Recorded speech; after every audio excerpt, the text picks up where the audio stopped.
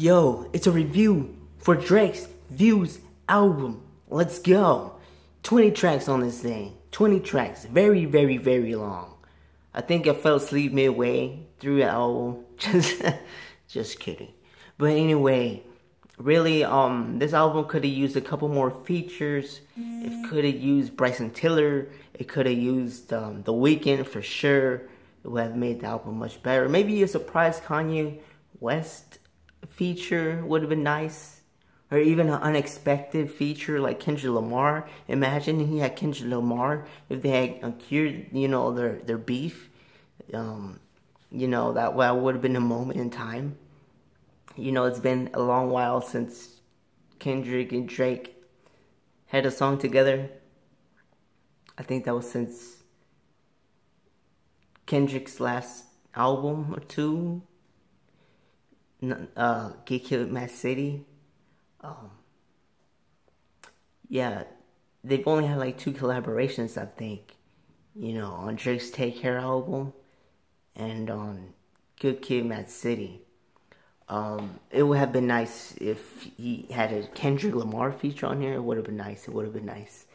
Um, Rihanna feature on here was great, but again, we've heard songs like this countless times throughout the history of Drake, you know, songs.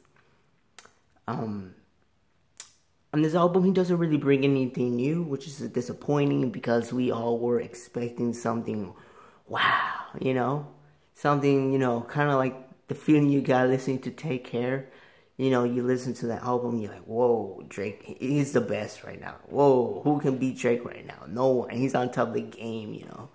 Um, even though that album was a lot of singing, but I balanced it out with the rapping, and people just love that album and call it a classic.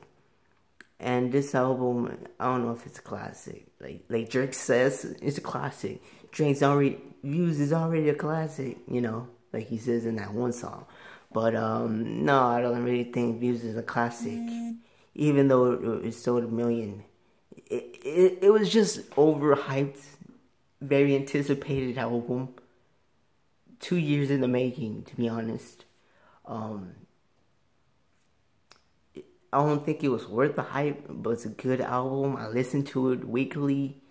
Um, the rapping Drake on this album is good, but the lyrics, come on, Drake, like you're slacking, You're slacking, man. We know what you are capable of doing.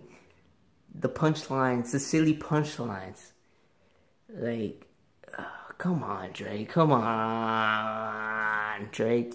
You better than this. We, you better than this, Drake. Come on, man. You're like one of my favorite rappers out here. You know, you keep it true. You know, you keep it real. You know, that's what people mess with you. That's why people love your music or fans of your music. And you just throw out these silly punchlines, you know. He talks about some weird stuff on his album, like on a couple songs, with, you know, concerning girls and why he's mad at a girl for some reason. Uh, you know, it's kind of silly. Um, yeah, I think Drake contradicts himself a lot in this album. Because in one song, he's playing the victim, you know, of friendship or relationship. But then in another song, he's like playing, you know, sus- playing the suspect, you know. And um, it don't really mesh well throughout the album. Um, you got your flex songs in here. You got your still here. You got your nine. You got your your views. You know songs on here. Your flex songs, I would say. You got your R&B ish, dance hall, Corollish, um, danceable songs like "With You," um, Corolla, No Controller. What other songs? Um, Too Good. Hotline Bling. Feel No Ways. Um, Um, yeah, those songs, there's plenty of those songs in there, which I didn't really were fond of. I didn't really like too many danceable songs, and that's great and all, but come on, Drake. We, we the real fans of you are the Drake rapping, singing type of, you know, fans, you know.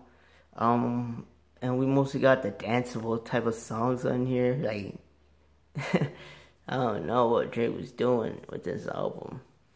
Um, I thought this album was gonna turn out different since the couple songs he released, like Summer 16. I was a big fan of that song. Very, very good punchlines on there with a good chorus, with with a good monotone voice, and, and he was very macho on there. But on this album, he doesn't really sound macho. You know, he, he's very introspective on some songs, and the songs he's rapping on, he's singing on.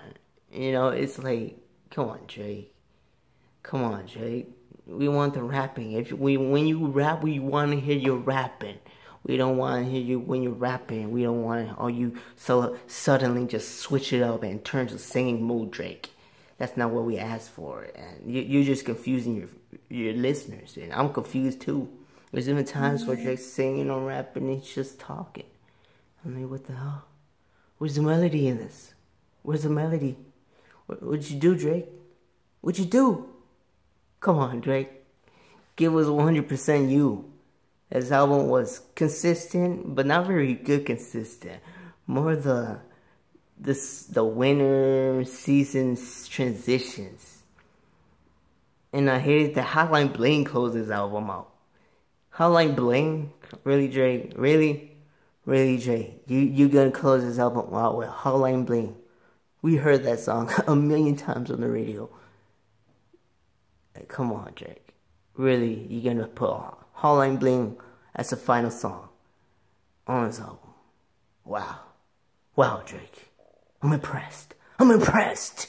I'm impressed by your your great your great album creativity management. ah, Drake, ah, Drake. What are you gonna do next? What are you going to do next? Give this album, I give this album a 6.5 out of 10 stars. Yes, it was great. It was enjoyable. It was overhyped though. Kind of disappointing when you think of a Drake album. You know, try to please everybody, but you can't really please everybody. Because this person wasn't pleased. Hopefully, you guys were pleased with this album. I really wasn't. I'll be going back here and there. A couple songs that were my favorite on this album, but in total, I cannot play this album from the beginning to its end. Because there's just too many stops on this album. It just feels uncohesive. Like, were you even trying, Drake? Were you even trying your hardest? And you're on top of the game. You're on top of the rap game, the singing game, whatever you want to call it. Your sales are going through the roof. But you lost creativity. You lost originality.